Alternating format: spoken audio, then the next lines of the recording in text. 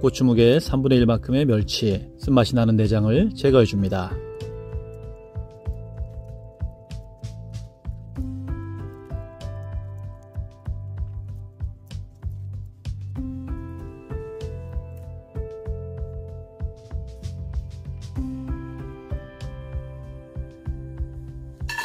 손질한 멸치는 기름 누르지 않은 팬에 비린내가 없어질 때까지 중불에 볶아주세요.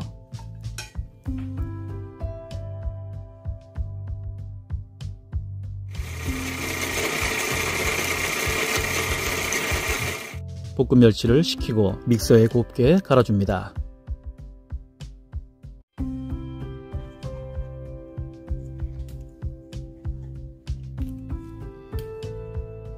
청양고추와 풋고추는 반반 정도 비율로 준비해서 꼭지를 떼내고 갈라서 다져주세요.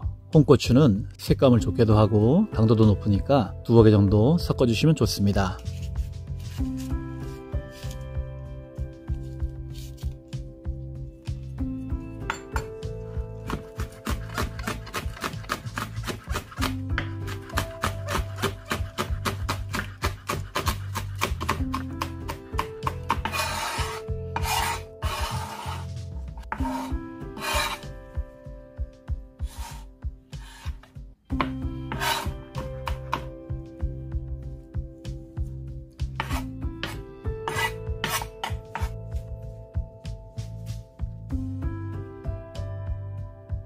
식용유 한 스푼과 참기름 한 스푼을 두르고 약불에 다진 마늘 한 스푼을 볶아주세요.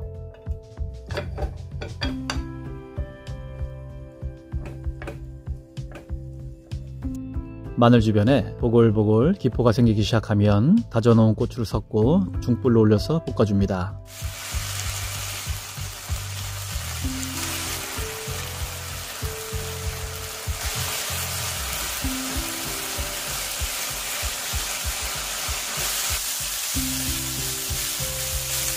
4, 5분 정도 볶아서 바닥에 수분이 거의 없어지면 갈아 놓은 멸치와 간장 2스푼 액젓 3스푼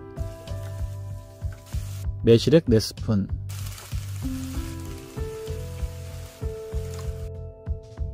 물 4스푼을 더해서 수분을 고추가 모두 흡수할 때까지 끓여줍니다.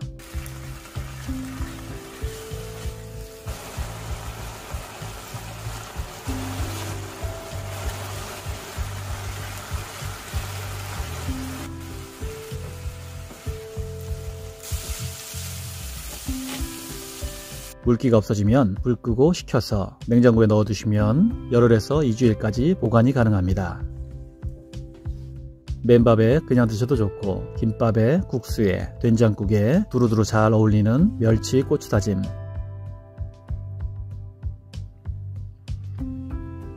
맛있게 드시고 행복하세요.